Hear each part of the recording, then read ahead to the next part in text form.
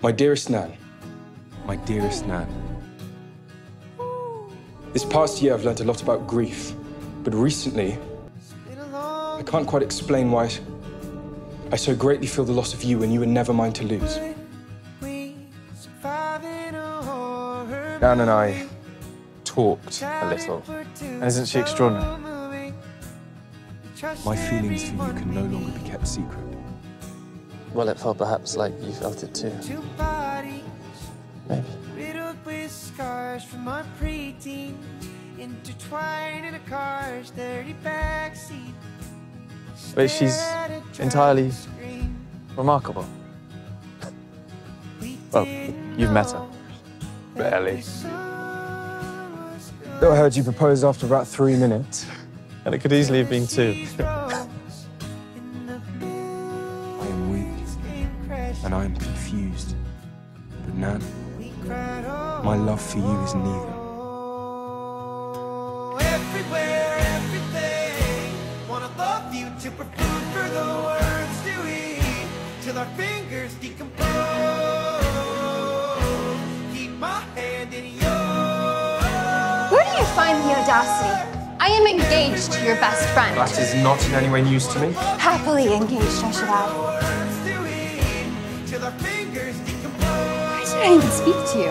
After you left me at Runnymede, I told you my most precious secret and you couldn't run away fast enough. But I came back to apologize. I came back almost immediately and you're already engaged. Well, how convenient.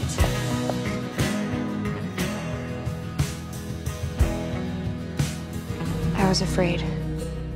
Sometimes the more desperate you are to tell somebody something, the harder it is to say. I wonder if it's because the opposite is true.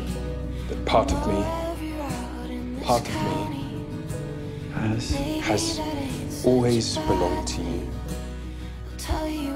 Don't let the whispers make you ashamed of who you are. I meant it then. And what about now?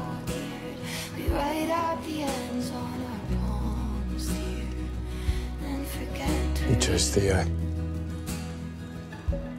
That's not an answer. Suppose by that I meant my heart. Belongs to you. And now, because of my own cowardice, I shall forever be incomplete. We were so close, Nan, weren't we? Everywhere,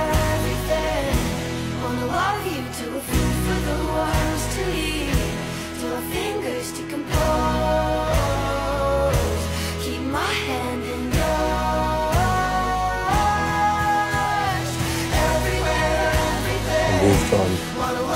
food for the worms to eat. Or maybe you could even stop looking for that rich American bride you've been after. That was your plan, wasn't it? I asked you to marry me. Before we could learn to love each other.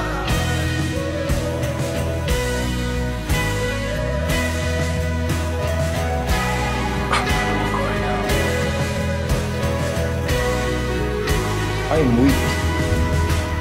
And I'm confused. But now my love for you is neither. Took my breath away. You and I need to free each other of this spell.